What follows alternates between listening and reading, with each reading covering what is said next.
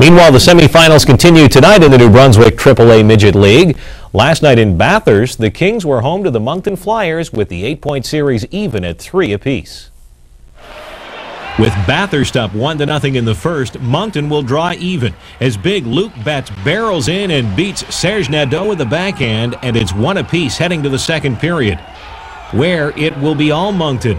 The Flyers are up 2 to 1 as Scott Richardson takes the return pass from Kevin Cameron for the easy score, and it's 3 to 1 Flyers. A Bathurst giveaway will lead to another goal as Betts moves in deep, then centers it to Gabe Wade, who jams it home, making it 4 to 1. And Wade strikes quickly for another on this blast past Nadeau's glove, 5 to 1 Moncton. The Kings do get one back early in the third as Gord Connors rifles it by Dominic Blouin. But the Flyers will again take control as Gabe Wade scores his third straight goal. And that one's followed by four more as Moncton rolls on to a 10-4 win, taking a 5-3 lead in the first to eight-point series. And that one resumes tonight, as does the league's other semifinal with Miramichi at Fredericton. The Midget Canadians lead the Rivermen 4 to nothing in that series. Increase, while Fredericton goalie Steve Johnson's in for a rough welcome from the Flyers. Eight minutes in, Scott Prime makes a great pass to Gabe Wade. Then Prime scores off the rebound to make it 1 0 Moncton. Five minutes after that, the Flyers attack again as Kevin Cameron sets up Joey Stevens, and it's 2 0 Flyers. Meanwhile, Blouin holds his ground at the other end.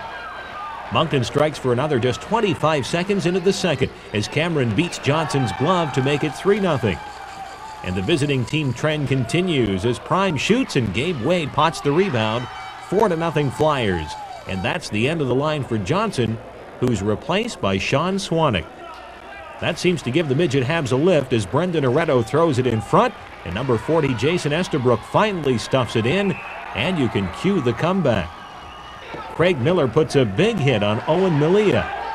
And soon after, Will Bellier makes a nice move to set up Joey Harriman for a power play goal, and it's 4-2 Flyers heading to the third, where Harriman saves a goal on a close call.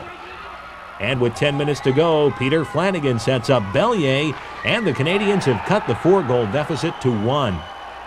Just over a minute later, they'll get a fourth straight goal. And again, it's Bellier breaking in and snapping it past Blouin, tying the score at four and forcing overtime. And that's where the comeback ends as Scott Richardson carries in and blasts it past Swanek's glove just 58 seconds into sudden death. And the Flyers win at 5-4 to take a 4 points to 2 lead in the series with Game 4 tomorrow night at Carroll Arena. Former Flames head coach Bob Francis returns to Harbor Station to trail the eight-point final against Moncton 6-2 as they hosted the Flyers at Nashwaaksis Arena. Coach Laurier Fecteau and the Flyers are just one win away, but Kevin Pottle's Canadians say not so fast. As they open the scoring just 39 seconds in as Eden Welch sends it in front and Peter Flanagan beats Dominic Blouin 1-0 Fredericton. Eight minutes into the game, the Canadians add another, as Welch will be stopped, but Nick Bartlett buries the rebound, and it's 2 to nothing. Eden Welch continues to lead the midget Habs as he cuts around JF Offray and goes forehand on Blouin for a beauty, 3 to nothing Canadians. Moncton does get one back late in the first on a wild goalmouth scramble as Scott Richardson stuffs it in on the wraparound.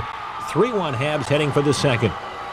After cutting the Fredericton lead to a goal, the Flyers will quickly tie it on the power play as number 11 Joey Stevens is finally able to get it by Johnson, and it's three apiece. The Canadians finally stem the tide as Ben Kennedy scores right off the draw, putting Fredericton back up by a goal. But Moncton answers back again as Alex Surrett deflects it past Johnson, and it's 4 all.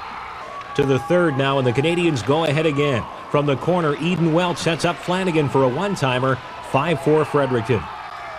Just a minute 15 later, the Canadians strike again. This time, Jason Estabrook centers to Brendan Areto on the doorstep, 6 to 4 Canadians.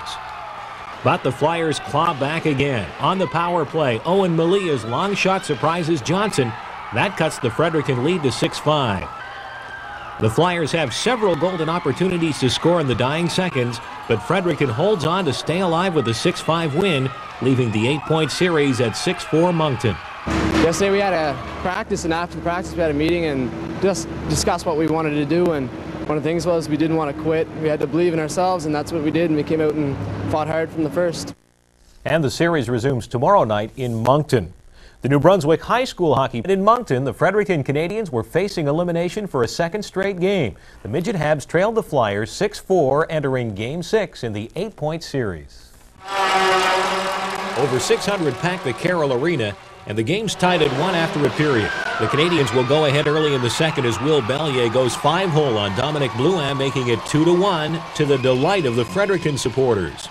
The Midget Habs will go up by two as Bellier stopped, but Phil Lawrence pots the rebound 3 to 1 Fredericton.